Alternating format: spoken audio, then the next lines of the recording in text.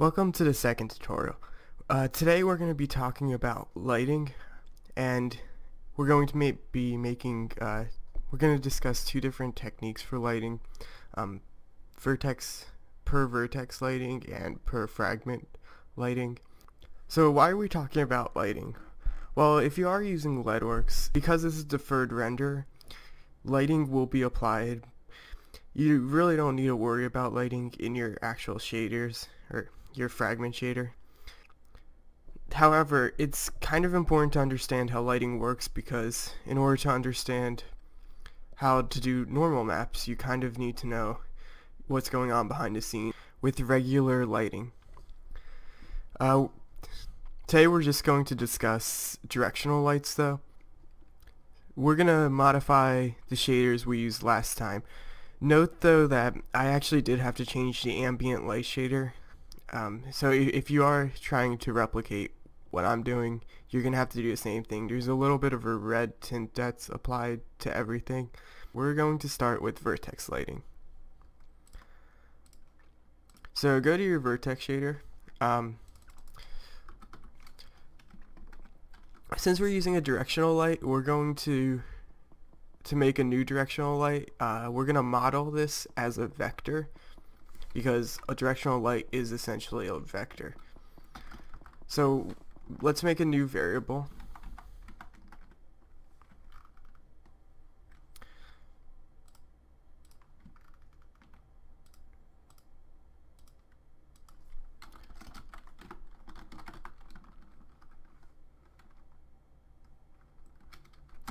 We're calling it light direction.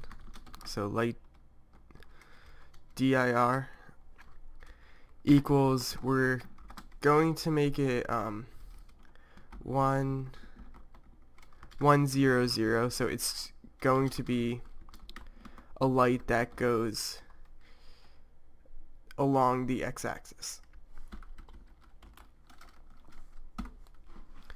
Okay. So what do we need to do with lighting? Um, so the big idea behind lighting is this. So you have a light, in this case our light is going across the x-axis. Right. And we need to determine the how light each point is. Well, we can determine this based on the normal of the point. So the normal of a vertex is generally orthogonal to the triangle surrounding it. So in this case, if we were looking at this vertex, right here, uh, the ortho or the normal would probably be pointing out along this direction. So the closer that this vector um, goes against the vector coming in, because the vector coming in is coming from uh, the right side of the screen going to the left side.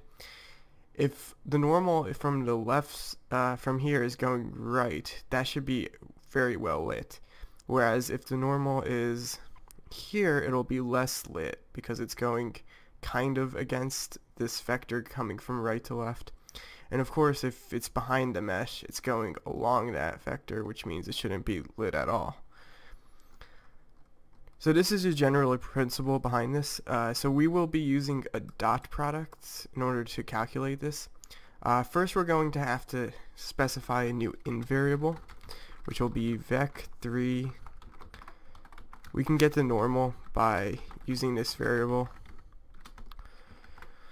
Okay so we have the this normal right now. Again like the position this is a local coordinate so we need to turn this local coordinate into a global coordinate. And so we'll do that the same way we did with the position. However we don't need to use the projection camera matrix because all we're we're not actually calculating a screen coordinate. We're still using since the light direction is actually in world space, we want to compare this, the normal in world space to the light direction in world space. So let's do that. Um, we're also going to specify a new out variable though. Uh, we'll call it light, which will be the light intensity. Okay, so we're also we're going to make a normal that's uh, this will be the true normal that's in world space. So we get the vertex normal. We need to multiply the matrix by it.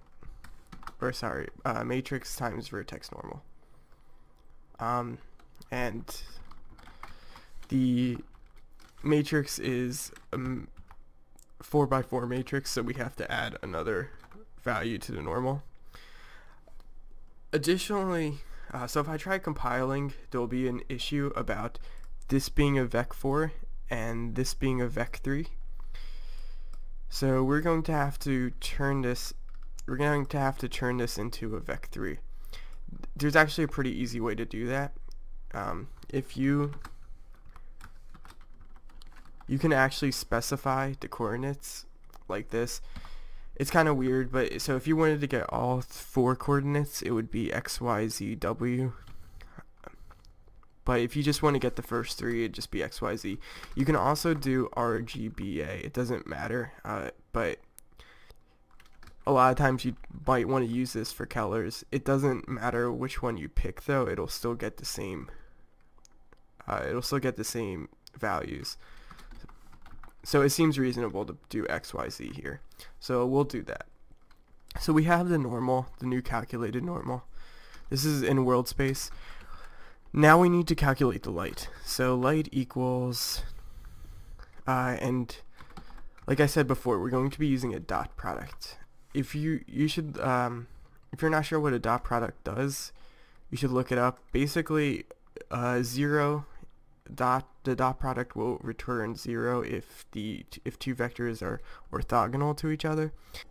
A dot product of 1 would be two vectors that are parallel and going in the same direction. A dot product of negative 1 would be two vectors that are parallel but going in opposite directions. This is only true of dot products of normal vectors though. Um, so in in reality, when we do have a directional light, we would, I guess, invert the vector, but it doesn't really matter because you can just do that manually. Um, but for now, we'll just we'll keep it like this, just for simplicity. Uh, so you'll do a dot product between the normal and the light direction.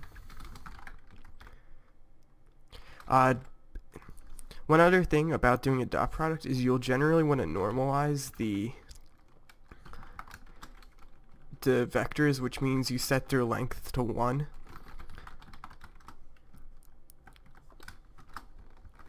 And these are all built-in commands, uh, partly because they're generally supported by hardware.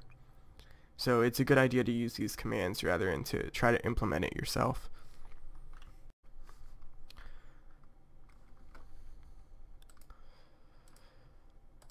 Okay, so, so we specified a unique output variable from the vertex shader.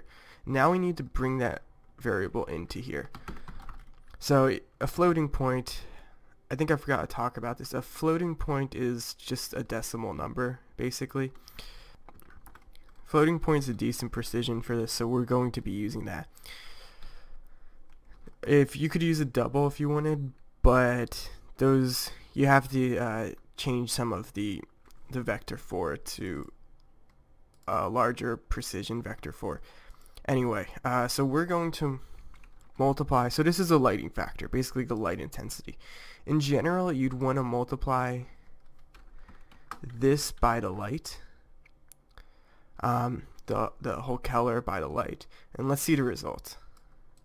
Uh, well, that's kind of an odd result. We have this severe banding going on.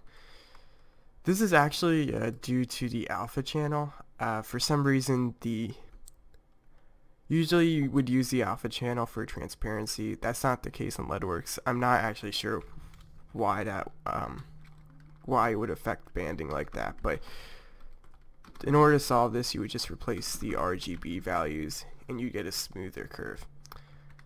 So it looks kind of okay. This is the um, it might be hard to see, but this is lighter than the backside. Same thing with this sphere.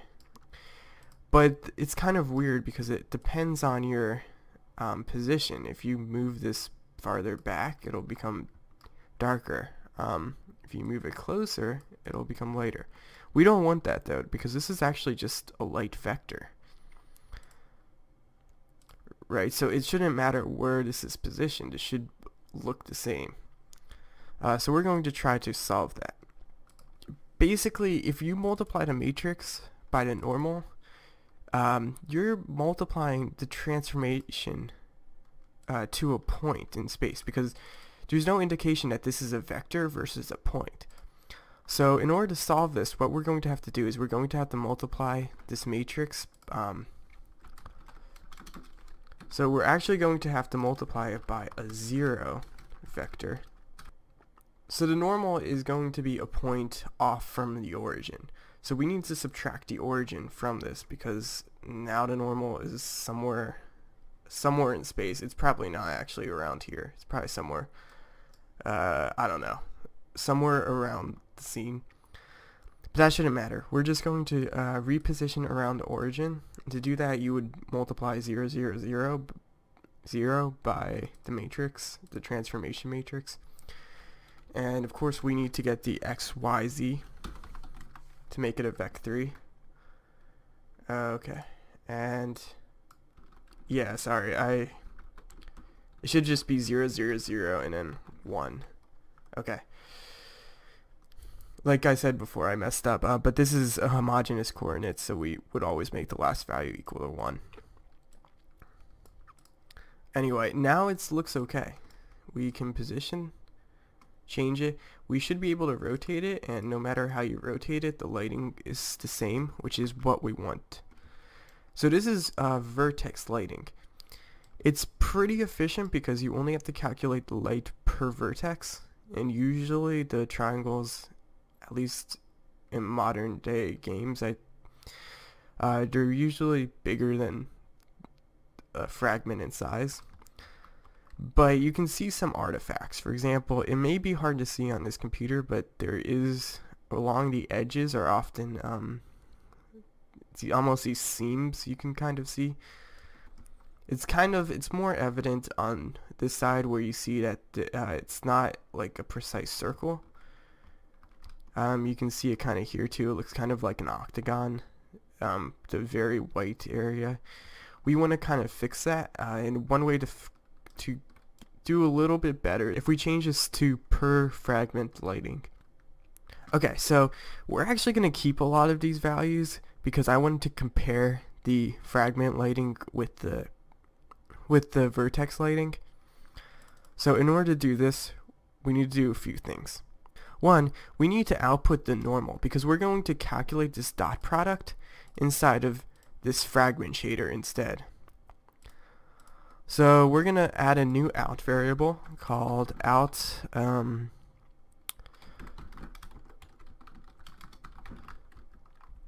we can again we can name these however we want because we're defining um, unique we're defining unique variables that will be taken in to the fragment shader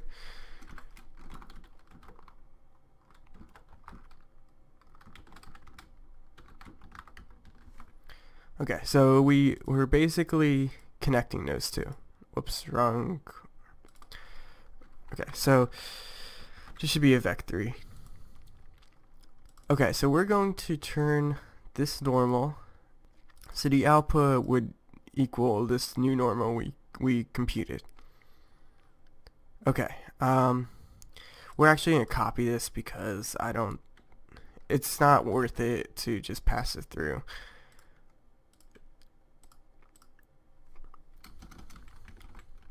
Okay, so we have the light direction here. We're going to calculate a new lighting, and I'm going to comment this out because we're going to be uncommenting it once we compare the results. Um, so we're going to make a new light, uh, we'll call it light 2, equals dot normalize, uh, let's see, the V normal and normalize light direction. And so that's light 2.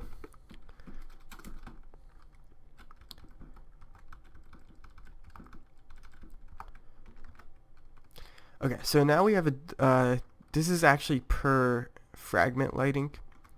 So you can actually kind of tell, again, it might be hard to see this, um, and I will In fact, I will make this uh, single viewport so we can see it a little bit better. But it should be a little bit better in terms of um, the lighting. It should look a little more like a circle. Uh, whereas if we change back to the pixel lighting, you can kind of see it's a, it's not as smooth. However, again, with the vertex lighting, you get better performance in general because you don't have to, you'll be doing less of these dot product computations. In, however, fragment shaders, of course doing fragment lighting, you do have some advantages though. Anyway, one of the uh, big points you should have gotten from this tutorial is that you'll see that there is actually sort of this interpolation between black and white and this is done through the rasterizer itself. So you don't have to worry about that. Uh, note that we're making the rasterizer even with our this this is actually kind of neat but when you look at our light variable this will get raster or this will get interpolated automatically which is kind of nice. That's why we can do the pixel lighting or sorry, the per vertex lighting. Whereas a fragment, we're actually interpolating the normal, not the light.